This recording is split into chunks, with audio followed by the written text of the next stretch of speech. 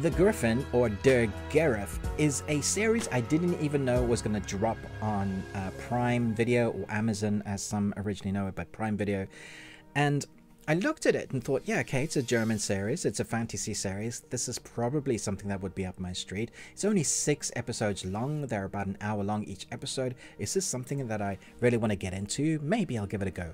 And then I read that it's from the executive producers and some of the creative team from Dark, and I thought, yeah, sign me up.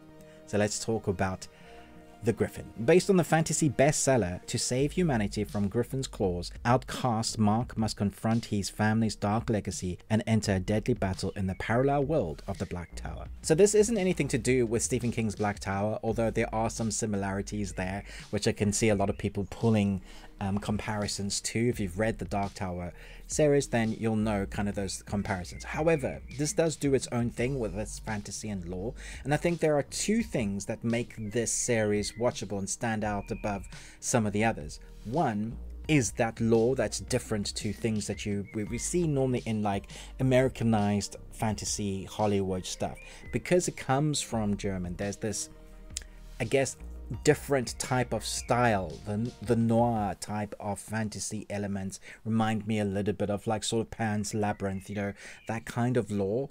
And even though it is the demographic is for a younger audience it's definitely in the late teens, teens and then to adults. It's that kind of mixed in between which i think is going to have a wider demographic and appeal to a lot of people if you don't mind watching subtitles. I would say definitely watch it on the original. We tried listening to the dubbing and it was fine but just really takes you out of the fantasy a bit you need to hear the voice inflections from those original actors that kind of brings you into the fantasy of it then we have the other part. It starts off in like 86 and then jumps 10 years.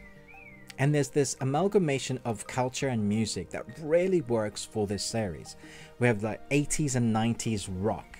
And it's the kind of the heartbeat of the whole series. It threads as a character into each episode. And the mixture of fantasy esque moments really lends itself to reminding me of those old school family adventures like the Goonies, the Never Ending Story, a little bit of Stranger Things. You kind of shove that all in there, and that's kind of what you're getting from the series. Now, is it the best thing that you've seen ever? No, but it was a thing that I wasn't expecting, and it's kind of scratched my itch of that fantasy genre series that I've been missing. There's been some that's come out recently that just haven't been very good. So I know probably a lot of people will rate this quite low, like maybe just above that two and a half mark. I think it's better than that because I've seen the quality of some of the other things that's been out recently, and this stands above those. I think the acting between the brothers is estranged but it's done well there's this family dynamic because of what has happened in their past and a legacy that they have to carry on. You are rooting for them, but you're also wondering, it plays on this idea of is any of the fantasy real?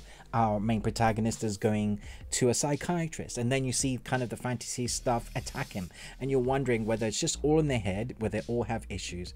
Obviously, that is all kind of shown in the story as the story progresses and there is a sort of friendships that build a love interest that builds all of that is really part of the story but the heartbeat comes down to the aesthetics and culture with the music and then between the fantasy that works well for when it's placed in. I had a lot of fun with this. I'm going to give this 3.75 Nicolas Cages out of 5.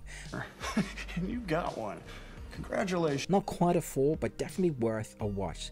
Let me know if you check this out. What is your favorite world cinema fantasy series? Probably a lot of people will say dark. If it's if it's dark, then maybe let, let me know another one. Perhaps there's one on your list that I can have a look at because I'm always looking for more. Thanks so much for watching, but most of all, until next time, remember, long Tuesday.